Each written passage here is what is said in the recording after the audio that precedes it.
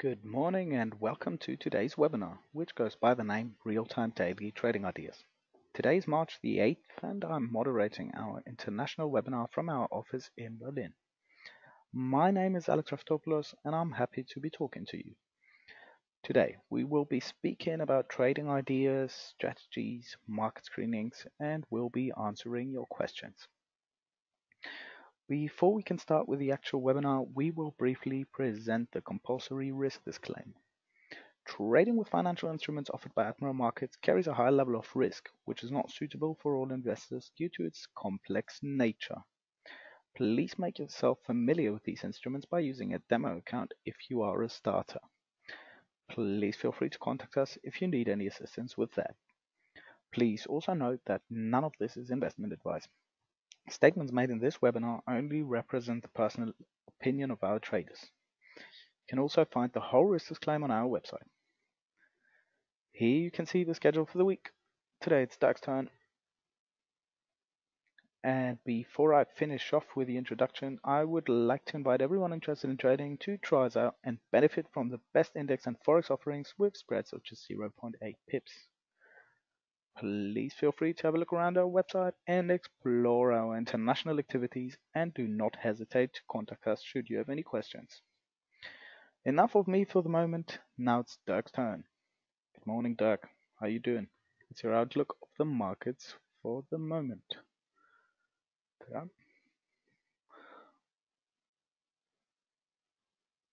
Um, okay. Okay, can you can you hear me? Yes, we can. yes. Good morning, Alex. Okay, because uh, kind kind of curious with because I didn't see any presentation of yours. Uh, the only thing I heard was your voice. Um, so maybe there was some mistake. I don't know. we will see later on. Maybe you can figure that out, or I will figure that out. What happened? Okay, will, let's start. With, let's start with a couple of, of issues uh, which we which we already got tonight or this morning. Um, as you read the news or the tick or the tickers, you might you may find out what happened uh, with Chinese data. So Chinese Chinese trade numbers came out, and uh, yeah, pretty much like a mess. Uh, this one, um, uh, like like for example, the the February uh, export data is down 16. I'm repeating 16.6 percent. Uh, no joke.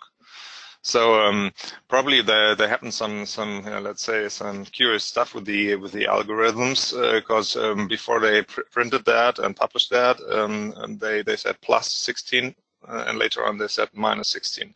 So however you will be thinking about that, uh, never trust Chinese data, I guess. well, uh, at the end, um, if you if you just check out the the whole rest of the a bunch of these Chinese data string uh, tonight, uh, you will find out that uh, there is um, a lot of a lot of problems in the Chinese um, economic situation, and this will lead to maybe more trouble ahead. Um, and uh, besides the fact, you know, that a couple of month ongoing trade uh, negotiations uh, have to come to an end soon, and uh, simply the fact uh, what will happen if Mr. Trump is simply walking away without a deal would be really falling apart everything like I told you last week. Um, last week you already spoke about a couple of markets like the DAX, like you can see that one here. I'm, I'm closing this one here, this market watch, just have more room.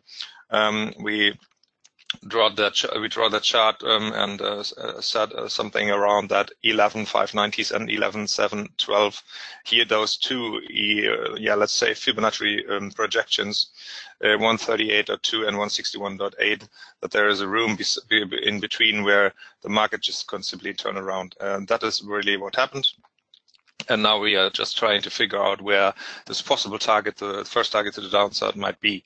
If you start that stuff, uh, you will be implementing a horizontal line on top, and we'll find out that the 100 uh, FIB here is around that, um, close to that 11400 handle. Um, if you look at uh, a couple of, um, yeah, let's say markets we, we spoke about last week as well, you will find out that we spoke about that S&P, S&P 500, which I said that this is one of the biggest and broader markets that will, uh, let's say, uh, guide uh, the rest of the European markets as well. And you saw that yesterday happening. The ECB um, wasn't uh, something like a help uh, to the European indices, and uh, besides that, not for the DAX as well. Um, And um, so there's cheap, cheap money forever, cheap money for longer term. And uh, this didn't help the DAX. Uh, the DAX uh, tanked and went down with the US markets because US markets are guiding the rest of the indices. And we saw that uh, last week. We um, yeah we just um, created something like this um, ellipse here, uh, where this possible um, yeah start of a, a, move to the downside could happen. Um, marked that one with a red arrow last week on Friday, and said that there might be something like a bump to this uh, 61.8 level here, which is around 2710. All right, back to the DAX. What will be happening uh, in the next hours to come? Um, first of all, just um, print yourself a note or write yourself a note that uh, there is a non-farm payrolls data today at 14:30 CT. So this is due for uh, U.S. labor data going to be published. And uh, if you check out a couple of surveys, um, they might say, tell you that you will find out something like Citibank, for example, said that there might be uh, an un unemployment rate of 3.8% and um, uh, the non-farm payrolls might be coming in at 220k. So uh, that is one of those uh, of these surveys. And of course, if you look at ADP data from Wednesday, um, it might be disappointing today. So you never know what what's the real outcome of this data at 14:30. You will know.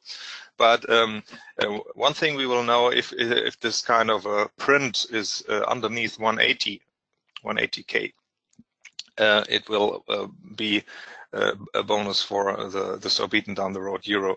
So that might be helping the euro to come back a little bit to the upside. Okay, um, let's check uh, the Xetra DAX board, um, which I uh, always do this uh, like this. Um, we will see resistances and supports, and of course the EMA 100 and EMA 200. And if you look at the uh, current supports, you have a support at 11443, which is the support number one uh, where we are really, uh, yeah, let's say we're really close here and already tested that one, and we'll see uh, if we have the, let's say, power to to pick up the pick up the road to this uh, pivot point, which is at 11,528. Um, one gap from the Xetra DAX uh, got closed. Um, I spoke about that gap um, last Friday and, um, and this one got closed around around the levels like 11 for 25ers. Uh, you don't see that one in the chart right here. Uh, that's a DAX gap. Okay. EMAs, so exponential moving averages. Uh, on top of that, might be interesting to see that one in a combination with the current 100 FIB here, uh, which I uh, told you uh, that might be a, something like a little bit of more support. Uh, around that 11400 um, handle in combination with the uh, EMA 100, which is at 11364. So we might find we might find something like a stabil um, stabilization around that area. So that we could possibly uh, put something like a so-called blue trading box for a, a long scenario um, at the uh, levels of 11360s to 11400 handle. All right just checking out. Besides that, um, besides that, um, we had that Fibonacci retracements last week. Of course, we um, said that this market is a little bit of overbought, um, which is um, on the daily perspective uh, quite close to the 70 um, RSI handle here. Good. one thing I wanted to tell you about a new market, right? we spoke about Euro GBP a lot. And um, you see the long term, the long term Fibonacci analysis um, and I, spoke about that 087 handles. Um, and these handles, uh, 61.8 handle, uh, very important from the long-term perspective. Um, changing that to the short-term perspective, we also, um, uh, on top of that, spoke about possible targets uh, for a stronger pound. We um, spoke about that 138.2 level and 161.8 level here down the road. If you see that one, uh, the uh, the last um, one is the 8480s. And if you move that horizontal line to the 138.2 level, we will find out that we almost scratched that level here. So one thing um, is that we bought um, um, a slice of a Euro GBP long. Um, slice means just um, a mini. And um, started that one at 085, 085 um, 50s, no, 085 50s, yes, uh, with a, a possible target back up to the 100 line, which is close to that 86 level here. Um, why did we do that? Um, besides the fact that the time is running out for Mrs. May and uh, for the Brexit, and it possibly gets into a direction of delay, uh, that might be something like positive for the pound. But the other, other side, you got some option expiries today running in direction of 086. Um, so it might be interesting to to be on the long side just to try to catch that direction of uh, that expiry. Uh, so you possibly could take out the, the trade at 085 90s already or 085 85. So something like some something like catching a few pips uh, to the upside. Uh, don't have anything like like uh, uh, something like greed that you may try to get up the road in direction 087. This could happen, of course, but um, it's better just to to catch uh, to catch a few pips and just exit just before uh, non-farm payrolls, for example. Okay, this one is uh, with a stop loss of um, 085.15, so um, quite soft. Um, and uh, if, uh, all, you, all you can see that this this stop loss scenario is a little bit underneath that 138.02 Fibonacci here. Um, okay. Besides Euro GBP, um, another nice or something like a possible uh, trade setup. We uh, spoke about the loonie a couple of times here uh, at the webinars, and uh, this time it's getting more interesting again. As you can see, we are on the daily chart, and uh, as you can see, the the last candles, the last blue candles here, bullish candles. Um, um, quite heavy move up to, um, let's just count them, one, two, three, four, five, six. So we are on the seventh day in a row with, um, uh, with um, candles to the upside.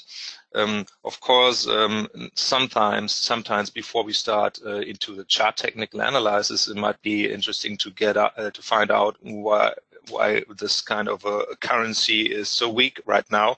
As I'm speaking about the loonie. And um, why is this dollar um, pushing up, pushing up so much?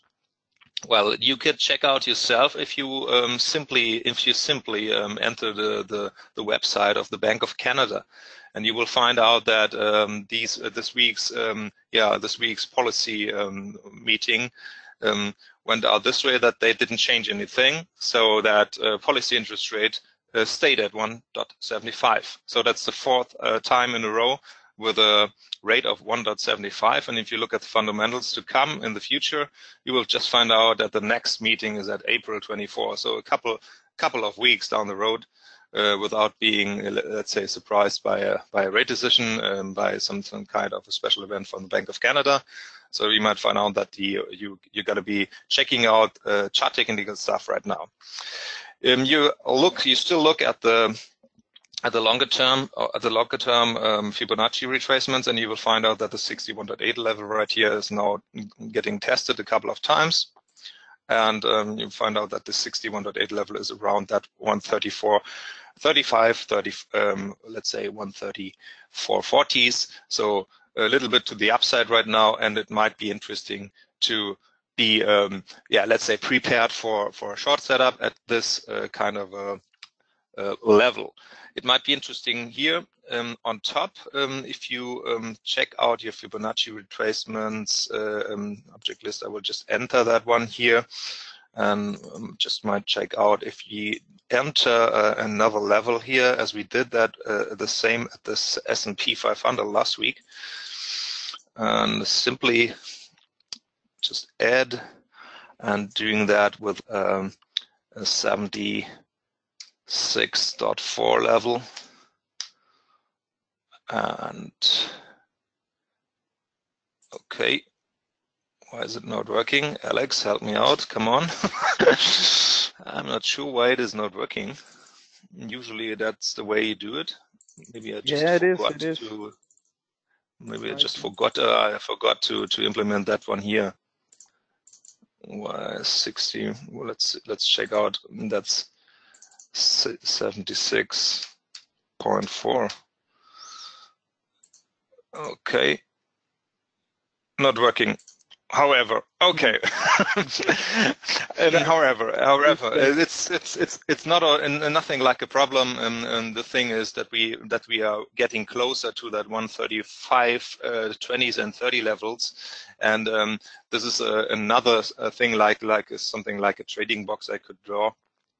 Um, with that um, version right here, so that we find something like this blue trading box here to to to to start um, um, um um, a turning point or a turning room, let's say that, that way, and then you will find uh, uh, some some some kind of arrow to the downside here as well, like we did that with the S&P, so that the direction, the first direction, um, which I'm talking about, is uh, from the upside a retest of that 61.8 and um, um, a road to the uh, 50 and 38 to the downside here. Um, inserting another arrow here um, to the downside. Where's the arrow there? Um, in direction um, of these other fib retracements. In the long run, in the long run, it is of course uh, very uh, very um, uh, important uh, to check out the um, commodity prices and especially the prices of oil. Um, we all know uh, that the loonie is uh, on top um, uh, something like a commodity currency, and if the the the oil price, uh, let's say WTI oil price is falling apart uh, and, and, taking the road down, uh, down, down, and down, and that would mean that would lead to to yeah to more uh, a loonie weakness. Um, this is the only point which is always very important to see. But if you check the uh, the the current um, technicals especially we will just implement that relative strength index here on the daily as well okay, and um, doing that stuff with um, moving averages on top. Where's the trend?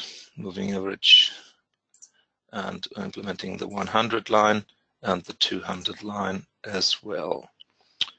Where is it? Trend moving average 200 and of course changing the color uh, to whatever some ugly pink or let's say this way. Okay. So this is possible. This is possible that we um, that we have something like a like a room where this this trade could where this trade could um, um, yeah lead to, which means that we uh, enter a room between the 132 50s and 132 uh, zero uh, or even a retest of that old 61 scenario, which we had already tested at 131.70s here. Um, this won't be uh, something like a trade for a couple of hours uh, or just one or two days. Um, we all know that sometimes these currency markets need a bit of a time. So um, be aware of the fact that you um, have a look at your swap uh, every day. Um, be aware that you have to look um, on your risk and money management. If you are able to, uh, let's say, to to um, do something like a, a two-way strategy. So um, starting with a short um, setup right now and adding something like a 135.20s if it comes to that. Uh, so two versions of a way of trading that currency pair here. All right, next one is the euro US dollar. big surprise to the downside. Well, is it? Um, the surprise, the surprise um, possibly is uh, the way of of the the talk, the ECB press conference. Um, they spoke about the, the, the further down the road cheap money um, until the rest of the year. There won't be any change um, um, at the interest rate. So uh, in the end, in the end, nothing like very very big surprises because they spoke about TLTRO, so that targeted targeted long-term refinancing operations, especially for for uh, Spanish, but uh, more important for Italian banks. And um, these, special tenders are going to be uh, launched in direction September. Um, how they will work and how they will be implemented, this is something like they spoke will be speaking about the next um, yeah, meetings in direction to June. They said Let's let's see what we will be finding out then. But uh, one thing, of course, one, uh, one thing, of course, is from the forward guidance, which they really moved further down the road in direction 2020 uh, with the first uh, rate hike. So this is something like very disappointing for the euro. And uh, on top of that, uh, which is which is very very much more disappointing is um, the guidance for GDP GDP projections and inflation projections because they revised that down the road as well and spoke about a weaker a weaker GDP uh, in the next years to come, in 2019 and the next years to come, and with weaker inflation uh, in uh, in 2019 and the next years to come. So that has an effect on the euro, and um, besides that, an effect on the bond markets as well. And you have to be checking out the levels between U.S. bonds and European leading bonds, and we'll be seeing that there is a shift and that lead uh, that that led uh, simply to a weaker euro. And what is uh, what is interesting right now? Um, of course, if you trade, um, um, and I did so, and I crashed with that first try, uh, um, to to have a long setup at the at the last at the last area of that uh, 112.15 and 112.40 levels and 50 levels. And um, this is um, this is uh, something uh, typically um, you you got a level everybody is watching that level everybody is watching the same chart and everybody is seeing that uh, the long term long term low was 112.50 and so everybody tries to be stopped around that one or um, close to that one a little bit underneath a little bit un uh, above but in the end um, there's something like a big rush or a big cleanup um, with stop stop losses, and that's what we were, what we simply saw yesterday, and uh, it, it, really it, it, really got very fast, and you see that last needle here. Maybe just open that one um, or just widening that one, going to more detailed versions like the hour chart. And you see that um, um especially uh, the last the last candle to the downside, very strong push to the downside to clean up the whole stuff and now we are working on getting a, a little bit more stabilization back up. Um, which could lead us, which could lead us to uh, a couple of levels like uh, 112.50 and um, very close to that 113 handle, which is the 61.8 level here from the uh, old chart, uh, chart technical analysis, which is, if you look at the daily, uh, still valid because you have the old low and the old high and the projections um, showing you that we are still in that room, uh, hovering around that room. So um, what on top is interesting that um, a couple of those option expires today um, are around 112.50s in direction 112.70s. So it might be not too 100% uh, not too wrong to try to catch a, a, room up there.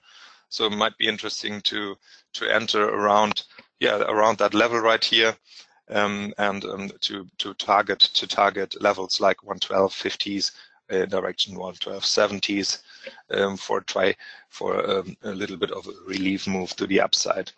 Um, needless to say, this is very very important uh, to check the time and don't try um, setups like that around around or a little uh, bit close to that 1430 CET today because of the non-farm payrolls if that if that uh, currency pair really takes another hit down the road, uh, let's say 50 to 90 pips as well, then it might be a, a, a better risk reward to to re-enter a long scenario and to try to get that next relief move upside. Um, um, it's always nicer not to to to to be long on uh, let's say on a already little bit of a move upside. It's the same thing. Don't be shorting the lows. It's always dangerous. Um, that's the, the thing.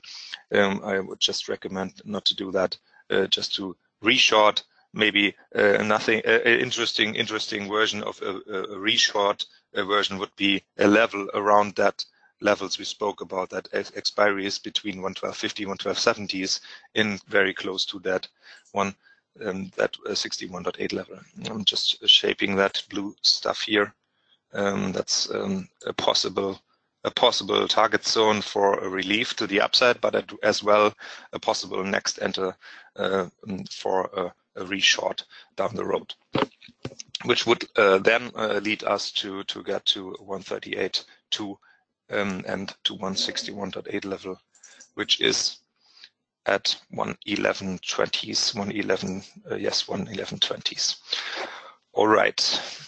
Um, I spoke about a couple of markets. Maybe I just forgot one. Let's just check that out. Oh, yes, we spoke we didn't speak here um, about the Aussie. Um, last week I told you that we might have a, re, a recheck of that levels around the 070 handle and uh, uh, really that happened um, around the level of the 138.2 Fibonacci projection to the downside, and this one already got, yeah, let's say already tested.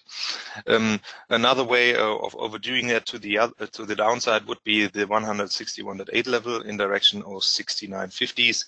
But um, let's see, let's see it as an opportunity to re uh, along this uh, stuff here and to be uh, looking for um, a retest of that 61.8 level here as well. Uh, and on top on top of that, let's just check out via MarketWatch what is happening with gold. And um, yeah, let's say gold gold really rushed up the road. It might be interesting. Um, of course, it's Friday.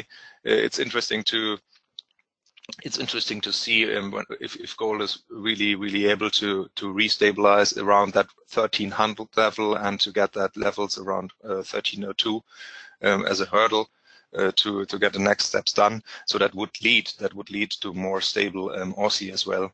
Um, commodity currency typically when gold is rushing up, Aussie is running up as well. Um, one thing for sure um, I forgot. Yes, next week, have a look at your calendar. Um, besides uh, a couple of U.S. data like consumer inflation and like like um, a couple of um, industry data and, and real estate data from the US, you might find out that we have the third Friday, the third Friday in a row in March, and that means that we have a quadruple witching day. So um, the the roads might be getting more bumpy in direction to that quadruple witching day, and um, you might be interested to check out a couple of levels in the kind of markets you want to trade for example, the German DAX, for example, a couple of other markets in Europe, or single stocks as well. It depends what you're up to. You find a lot of information at the Eurex website, and uh, I'm sure if you have some data uh, on top of that, um, you will find out a couple of levels where the open interest is quite huge, and it might lead you to you know, have your conclusions to be short or to be long the one or other way. Okay. Yes, Alex, um, pretty much done. Closing very, very on point, 1128. Perfect. perfect. perfect. um, you've actually answered all the questions that were posted, so there's no questions left. Okay, perfect. Fantastic. Right. Perfect. Thank you very much for your comprehensive analysis, Dirk. Thanks to the audience for listening. I hope you enjoyed today's webinar.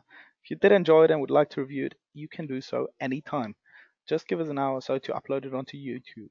And sorry, Dirk, I always have to mute you because um, otherwise we would kind of interrupt each other. I hope you don't mind that. no, no problem. But, yeah, guys. So hopefully you, you will you will enjoy um, your weekend. Hopefully we will uh, be uh, having a, a, sunny weekend and um, and of course um, have a, a, first of all have a, uh, have a nice trading day, um, NFP day today. Um, be patient um, and uh, try to to catch a move and don't um, be prepared too much because sometimes markets can go crazy and all your preparations are just um, yeah be thrown out of the window. Sometimes it's easy, just easy to to to watch this and see the market is uh, really walking into your direction and then just pick up a trade. That's all I can say today. And um, of course, um, next week same same um, um, date 11 CET, um, 15th of March, so the quadruple witching day. Um, let's see where the markets are uh, hovering around. Uh, interesting to see if the DAX is uh, still at that level. I'm really curious to, to know that. um, and uh, on top of that, um, um, if you if you see that um, Euro GBP trade um, um, already is in the green, so don't overdo. If you like to just take it out, and uh, it's something like beer money. It's weekend, so enjoy. Thank you very much. Perfect. Thank you. Have a good weekend, guys. Bye bye. Bye bye.